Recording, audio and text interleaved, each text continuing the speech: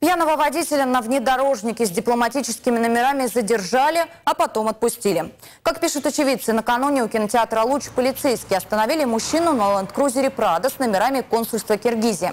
Отметим, дипломаты и его транспорт неприкосновенны по Венской конвенции о дипломатических отношениях. Их можно только останавливать и сообщать о нарушении правил.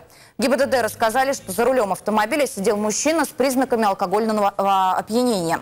Проходить освидетельствование он отказался, а полицейские составили на него протокол и отправили материалы дела в соответствующие инстанции.